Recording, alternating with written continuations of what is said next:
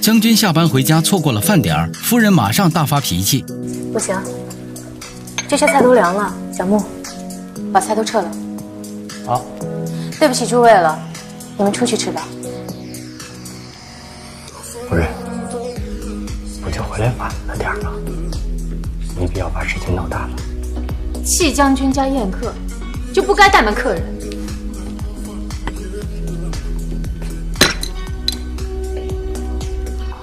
你是在跟我发脾气吗？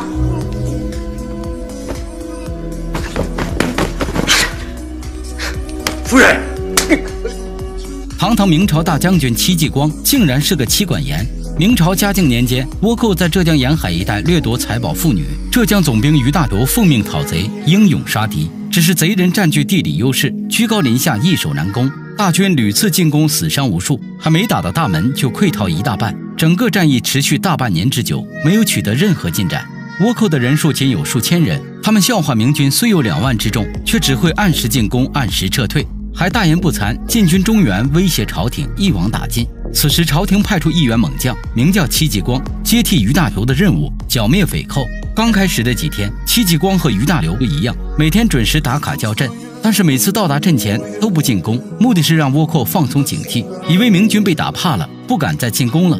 几天以后，突降暴雨，手下认为这是夜袭倭寇的绝佳时机，戚继光却让部队好好睡觉，他自有安排。倭寇这边为了防备明军偷袭，一晚上都在督促手下提高警惕，千万不要睡觉。直到次日凌晨，戚继光突然炸毁竹楼，此时的倭寇却因防了一晚，这会儿正在酣睡。明军打倭寇一个措手不及，轻轻松松就摧毁了倭寇的防御措施。倭寇主帅为了保存实力，带领精锐部队匆匆撤退，还命人撒下碎银无数，让明军因为贪图钱财而放弃追击。一个村民找到戚继光求救，说有很多村民被锁民房，将军带人打开房门，被救村民涌向前来叩头感谢。于大糅见村民腰间插着扇子，料定是倭寇假扮，一脚将其踹倒。这果然是倭寇的奸计。于大糅虽胖，却表现得异常灵活勇猛，还救了戚继光一命。倭寇见打不过就撤退，戚继光带队追击，来到楼台下才发现又中计了。倭寇火枪队埋伏在前方，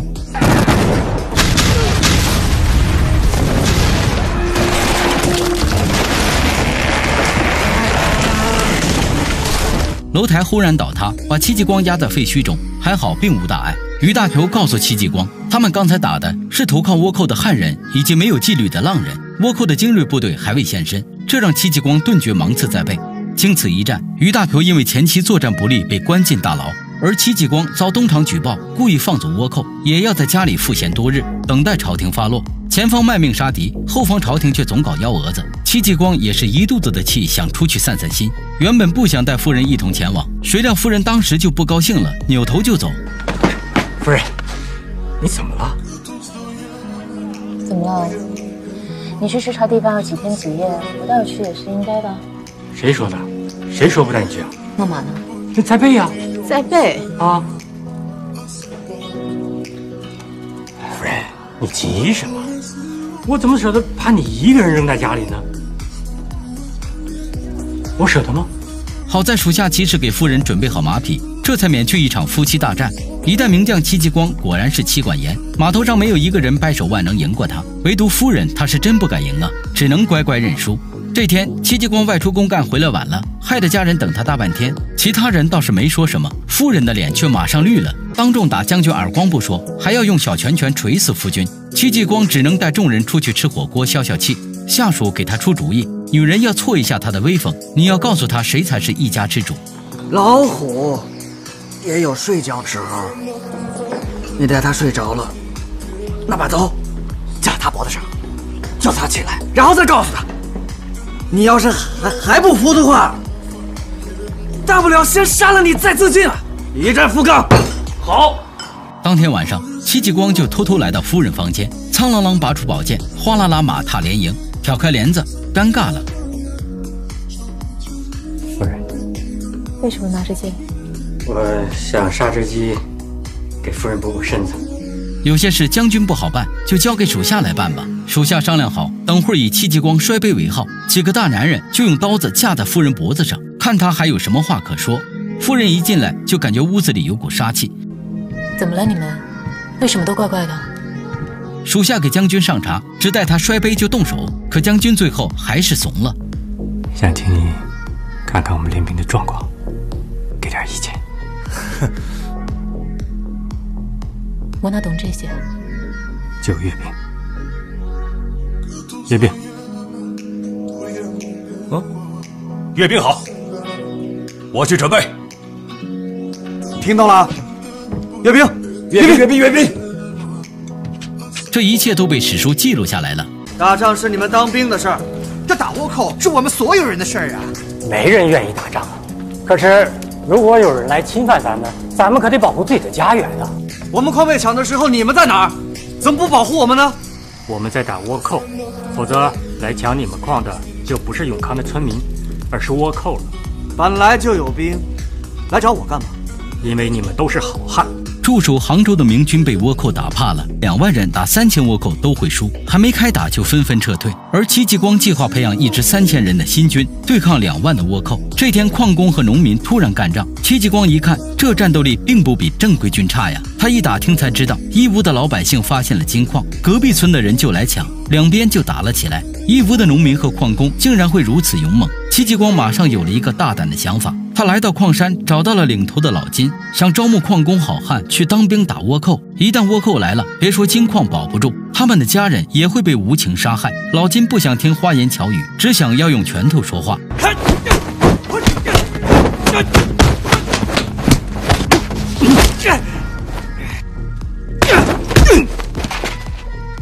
我拳头舒服吗？老金还真有两下子，但是在戚继光面前还是弱了一些。不出三分钟就被两次撂倒在地。老金挥舞铁锹一顿猛砸，戚继光几番躲闪，并没有受伤，反倒是老金挖断房梁。要不是戚继光及时出手相救，上面的孩子就掉进岩浆了。经此一战，老金答应带领精锐矿工加入戚家军，一起打倭寇，保家卫国。戚继光要训练一支以一敌十的特种部队，他们每天坚持负重跑步训练，还有新式武器狼筅，插上竹叶伪装，让倭寇有来无回。新式阵法训练，枪炮训练。春去冬来，一支像模像样的特种部队就这样打造成功。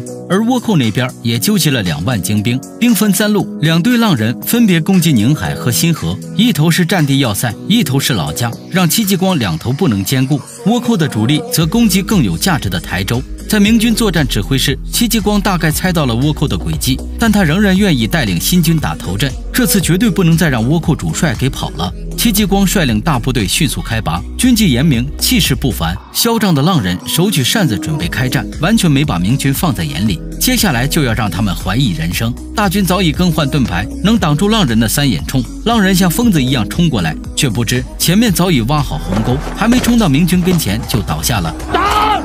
好不容易爬上来，又被明军挡下去。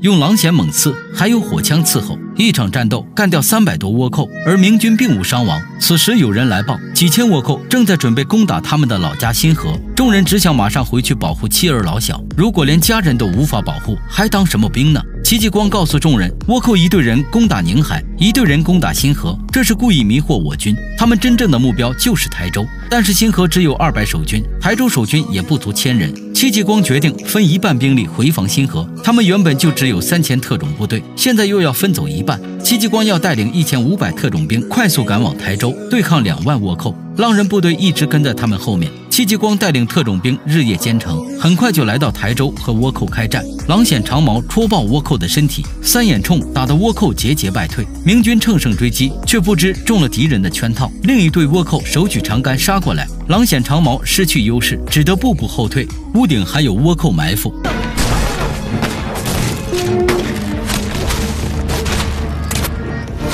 戚将军弯弓搭箭，射杀倭寇，爬到楼顶观察军情，发现倭寇主帅的位置。大哥，将军，他们的主将就在东北角，让大家分散。拼数量，他们没优势，要想以少胜多，只能擒贼先擒王。他下令分散兵力，展开巷战。可倭寇主帅早已做好准备，安排浪人队伍和少主守住后阵，要让明军有来无回。老金带领的矿工部队在巷子里和敌人拼杀，打得异常勇猛。另一支小队迷路了，遭受倭寇的伏击，伤亡惨重。戚家军这边的队伍杀到主帅附近，敌人早有防备，手握长杆列阵，楼上还有弓箭火炮。戚将军下令用盾牌筑起铁桶，保存实力。而倭寇主帅想用火力优势，不断进攻，累趴明军。被安排在后阵的少主和浪人不甘心看到别人立功，也带着铁炮队冲到阵前。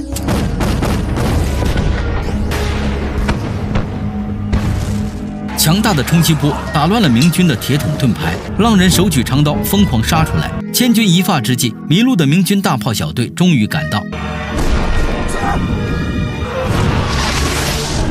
一炮轰掉浪人，再一炮轰向少主。明军士气高涨，众将奋勇杀敌。这一仗，他们只有一千五百特种兵，却大败了两万倭寇大军，打得他们屁滚尿流，滚回岛国。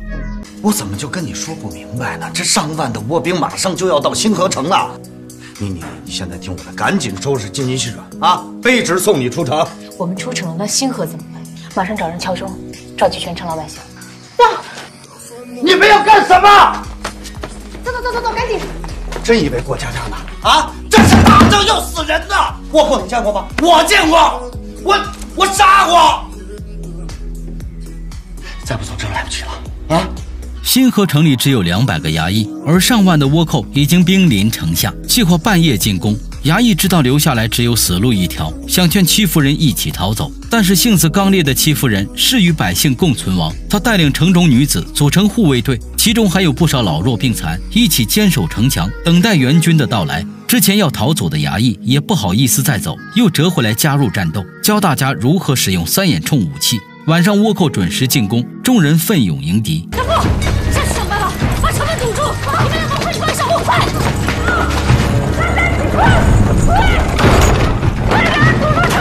戚夫人武艺高强，异常勇猛，斩杀倭寇无数。就算是被摔倒在地上，也能举起石头砸死倭寇。可对方主力很快攻入城墙，挂上炸弹，炸开了大门。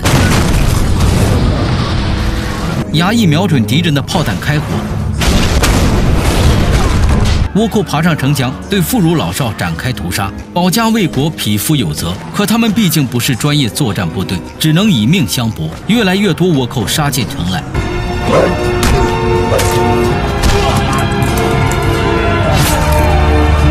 夫人已经做好牺牲准备。此时援兵终于赶到。兄弟们，杀！这里是他们的故土，杀敌就是保护家园。城楼上，大哥刚干掉一个倭寇，还没来得及庆祝，就被后面的倭寇一剑刺死。一寸山河一寸血，新河军民用鲜血守护家园，誓要歼灭一切来犯之敌。另一边，被戚继光一千五百个特种兵打败的两万倭寇主力正在狼狈撤退。戚家军并没有放弃追击，一定要将敌人意志彻底消灭。倭寇正在准备大撤退，前方就是出海的战船，一个也不能放他们离开。倭寇以为前面都是淤泥，明军肯定过不来，却不知明军早有准备。戚继光带领众将驾驶一种名叫尼玛的水上交通工具追过来，一路斩杀想要逃走的倭寇。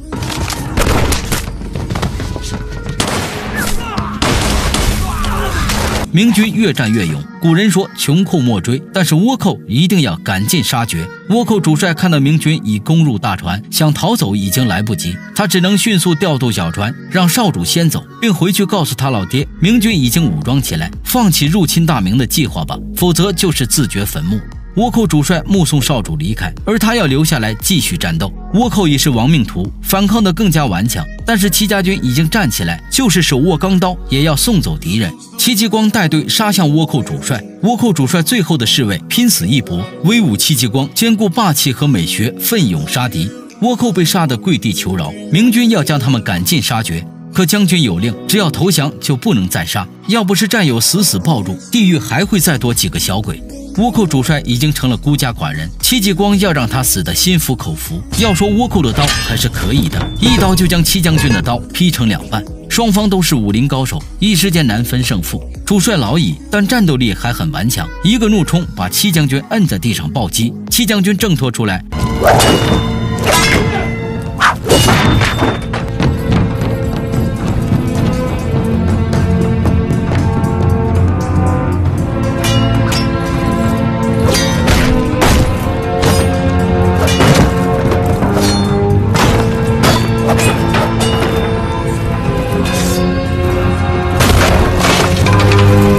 从船舱打到甲板，戚继光的刀再次被削掉半截。但是真正的武林高手，总能在打斗中不失漂亮而又巧妙地夺走对方的武器，割碎对方的铠甲。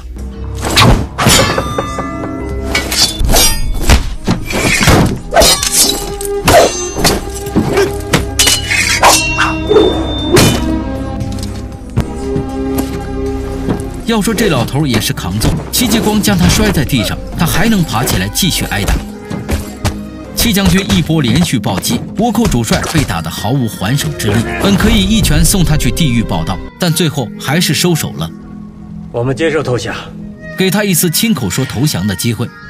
戚继光，